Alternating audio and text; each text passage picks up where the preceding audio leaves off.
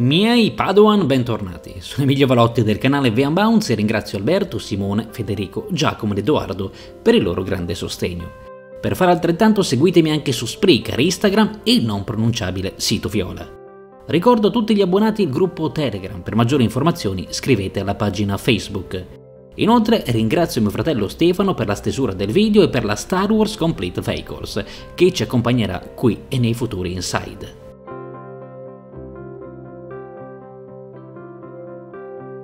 L'esplorazione galattica confida in speciali tecnologie create millenni prima della Repubblica Galattica.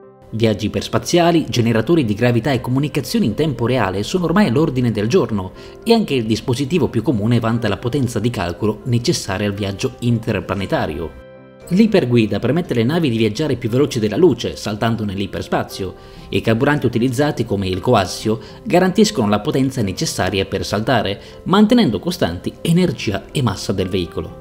Ogni salto però deve essere calcolato con cura, infatti gli oggetti più grandi, le stelle, i pianeti o gli incrociatori proiettano delle ombre voluminose sul piano iperspaziale che possono provocare collisioni mortali.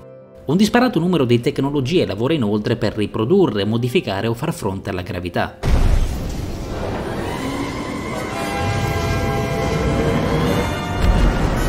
Il sollevamento repulsione consente a una nave di librarsi da terra o sorvolare nell'atmosfera di un pianeta.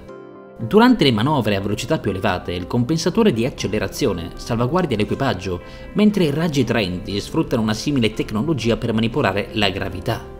In questo modo si può trarre o respingere oggetti e navi più piccole in prossimità dello scafo. Durante l'era imperiale alcuni incrociatori sono equipaggiati con proiettori gravitazionali che bloccano i salti iperspaziali o possono trascinare le navi all'esterno dell'iperspazio. Tuttavia l'enorme mole dei generatori sacrifica scudi e armamenti. Per ultimo, ogni mezzo progettato per attraversare lo spazio dispone inoltre di gravità artificiale.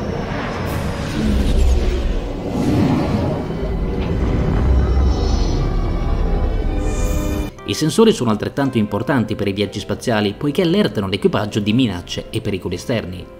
Abbiamo tre modalità di scansione, quella passiva che monitora la stessa area, quella attiva con un'area maggiore e invece quella di ricerca, concentrata su una sola zona specifica. Attraverso degli impulsi emessi dalla nave, gli scanner sono in grado di computerizzare informazioni precise, utili ai piloti e all'equipaggio.